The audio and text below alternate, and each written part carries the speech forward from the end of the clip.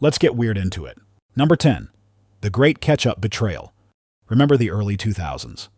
A time of frosted tips, dial-up internet, and a culinary war crime known as Heinz EZ Squirt.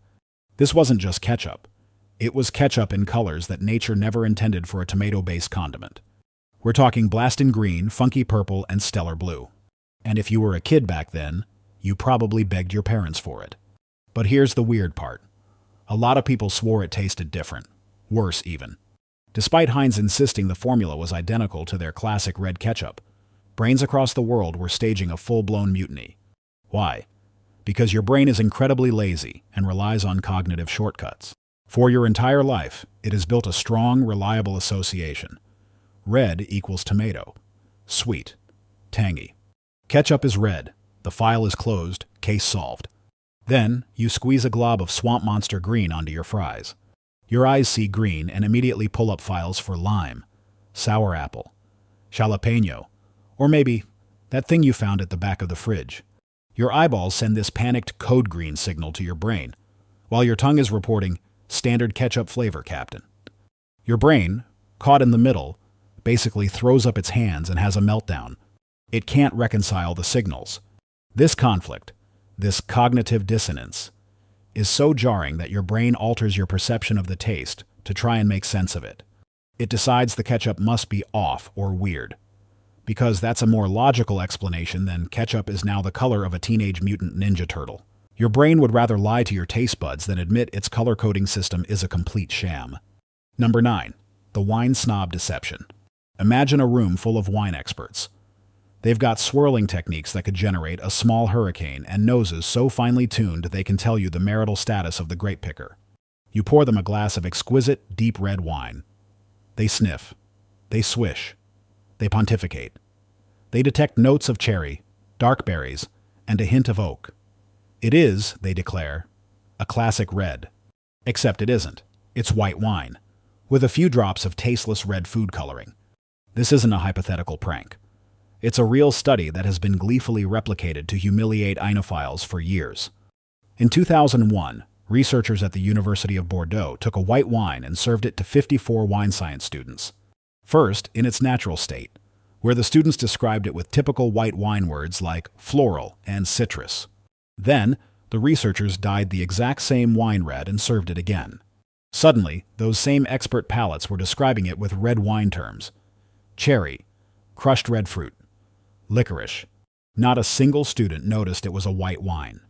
Their eyes saw red, and their brains completely overruled their taste buds and noses. The visual cue was so powerful it literally rewrote their sensory experience. Your brain has a deeply ingrained expectation. Red liquid in a wine glass equals red wine flavor. It's not just a suggestion, it's a command. The visual information hijacks the flavor processing centers of your brain, forcing them to find flavors that match the color. It's like your eyes are a tyrannical boss who walks into the tasting room, points at a spreadsheet, and screams, I don't care what you're actually tasting. You will find notes of blackberry or you're all fired. Hawade Kasawar. Number 8. The M&M Conspiracy. Go ahead, try it. Grab a bag of M&Ms, close your eyes, and have a friend hand you one. Can you tell the difference between a red one and a green one? No, you can't. Because they are all just milk chocolate coated in a sugar shell. The dyes are flavorless. Yet, a huge number of people will swear on their lives that the red ones taste different from the blue ones, or that the green ones have a hint of lime. This isn't just your imagination being quirky. It's your brain actively fabricating a reality that doesn't exist. This phenomenon is a perfect example of learned flavor association. Over time, we've been conditioned to link colors to specific flavors. Red often means cherry or strawberry. Green means lime, or green apple. Orange is orange. Yellow is lemon. When you pop a green M&M into your mouth, your eyes have already sent a memo to your brain that says, Incoming, green flavor. Your brain, ever the diligent but slightly dim-witted assistant, preps your taste buds for something vaguely lime-esque.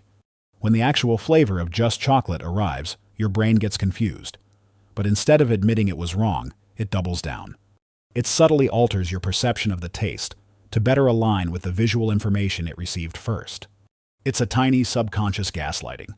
You don't actually taste lime, but your brain nudges you and whispers, Hey, wasn't there something a little zesty in there? A little green tasting? Yeah, let's go with that. It's a sensory placebo effect, proving that your expectations, painted in bright candy shell colors, are sometimes more powerful than the food itself. Number 7. Your plate is lying to you. You're trying to eat healthier, so you put your salad on a green plate. Smart, right? Wrong. You just tricked yourself into thinking your healthy meal is less filling. But if you serve yourself a slice of strawberry cheesecake on a white plate, your brain will perceive it as sweeter and more flavorful than the exact same slice served on a black plate. Welcome to the bizarre world of plate color psychology, where your dinnerware is actively messing with your head. Studies have shown that the color of your plate acts as a frame for your food, and that frame can drastically alter your perception of taste and portion size. For example, food served on a red plate is often consumed in smaller quantities.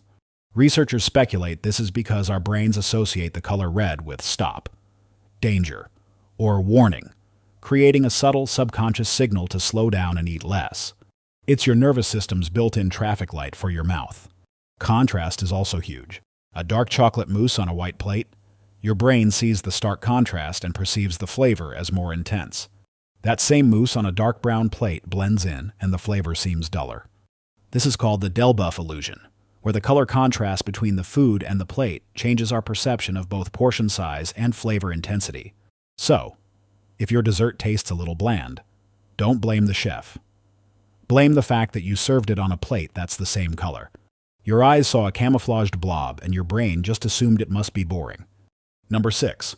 The angriest potato chip. Picture two potato chips. One is perfectly round. The other is a jagged, spiky star shape. Now, which one do you think tastes sharper or crunchier? Overwhelmingly, people will pick the star-shaped one. This isn't a coincidence. It's a phenomenon called cross-modal correspondence, and it's your brain's weird attempt to make a synesthesia-like connection between shape and taste. This is often linked to the Bouba Kiki effect, in that experiment, people are shown a round blobby shape and a sharp spiky shape and asked which one is named Bouba and which is Kiki. Almost everyone, regardless of language or culture, assigns Bouba to the round shape and Kiki to the sharp one. Our brains just naturally link smooth sounds with smooth shapes, and harsh sounds with sharp shapes. This same logic extends to food. Round, smooth shapes are associated with sweetness. Think of a lollipop, a macaron, or a scoop of ice cream. Sharp, Angular shapes, on the other hand, are associated with sour, bitter, or salty tastes. The kiki flavors. Food scientists and marketers are all over this. They know that changing the shape of a piece of chocolate can make consumers perceive it as creamier or more bitter, even if the recipe is identical. A round cracker seems milder than a square one. That's why so many extreme or intense flavored snacks come in jagged, triangular, or lightning bolt shapes. Your eyes see the aggressive geometry and prime your brain for an equally aggressive flavor. So before you even take a bite, your eyes have already told your tongue what to expect, all based on a shape. Number 5. Mood lighting for your mouth. Ever notice how fancy restaurants are always dimly lit? You might think it's just to create a romantic atmosphere so you don't notice the astronomical prices, but it's also a deliberate trick to make your food taste better. The intensity and color of the light around you can fundamentally change your perception of flavor turning your dining room into a sensory manipulation chamber. Research has found that brighter light enhances our ability to perceive certain flavors, particularly in beverages. In one study, people rated the same wine as more intense and fruity when they drank it under bright light compared to dim light. But here's the twist. While bright light might make flavors more intense, it also makes you more aware of your surroundings and can lead to you eating faster and enjoying the experience less. Dim, warm lighting, on the other hand, does the opposite. It relaxes us, slows us down, and disinhibits us. This relaxed state makes us perceive food as more enjoyable and flavorful. The flavors aren't actually stronger. Our brains are just more receptive and less critical. Colored lighting is even weirder. If you put someone in a room bathed in blue or green light, they will have a harder time identifying basic flavors. One experiment found that when steak and fries were served under strange lighting that made the steak look blue and the fries look green, some people became physically ill. Their eyes told them the food was rotten, and their brains believed it, completely overriding the fact that their taste buds were screaming, This is a perfectly good medium rare steak. We ao ao bo. It's a powerful reminder that we don't just eat with our mouths, we eat with the entire environment. Number 4. The Fancy Box Tax. You're in the grocery store, staring at two boxes of cereal. One is the familiar, brightly colored brand name box with a cartoon mascot doing something extreme.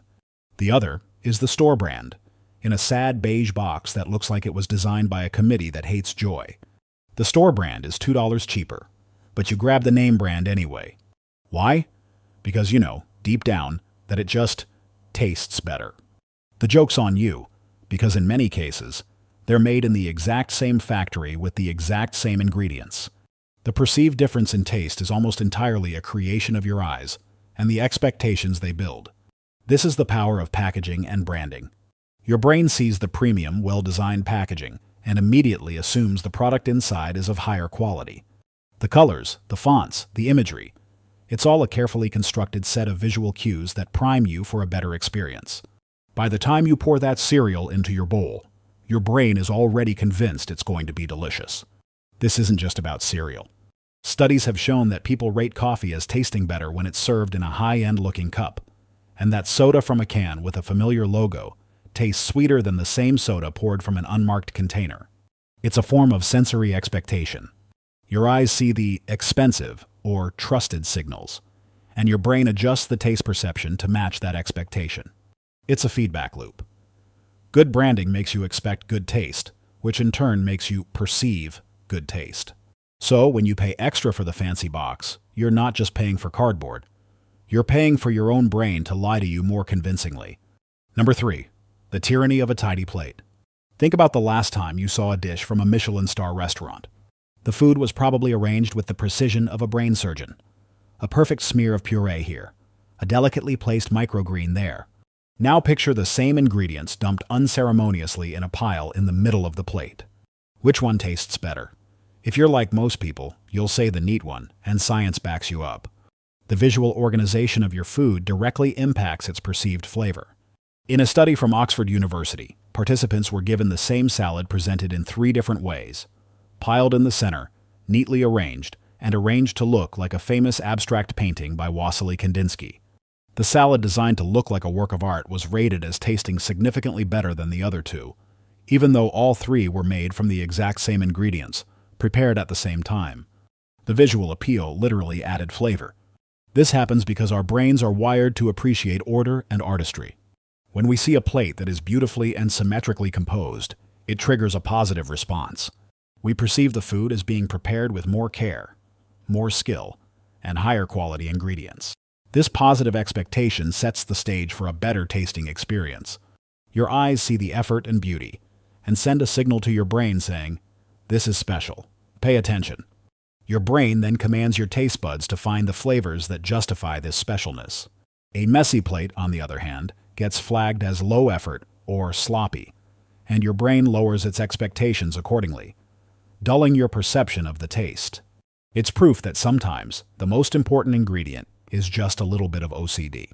Number two, the thirst for transparency. Why does a glass of water seem so much more refreshing than a glass of milk on a hot day? Part of it is hydration, sure, but a huge part of it is color, or rather, the lack of it. Our brains have a deep, primal association between clearness and quenching thirst. We see a clear liquid, and we immediately think water, clean, pure, and hydrating. This is a powerful psychological shortcut. Beverages that are clear or have a light, transparent color, like a pale lemonade or a light beer, are perceived as being more thirst-quenching and lighter than their opaque or dark-colored counterparts. A company could make two drinks with the exact same hydrating properties, but if one is clear and the other is a cloudy, milky white, people will almost universally report that the clear one felt more refreshing. It's an expectation baked into our evolutionary hardware.